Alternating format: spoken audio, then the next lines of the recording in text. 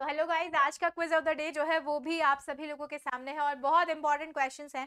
Miss Universe 2022 और यही miss Universe 2022 का खिताब जो है ये किताब इस साल किसने जो है वो किसने जीता है? तो लुइसियाना में ये इवेंट आयोजित किया जाता था और इस बार जो है वो इस बार सेवेंटी फ़र्स्ट एडिशन जो है वो एडिशन था किसका?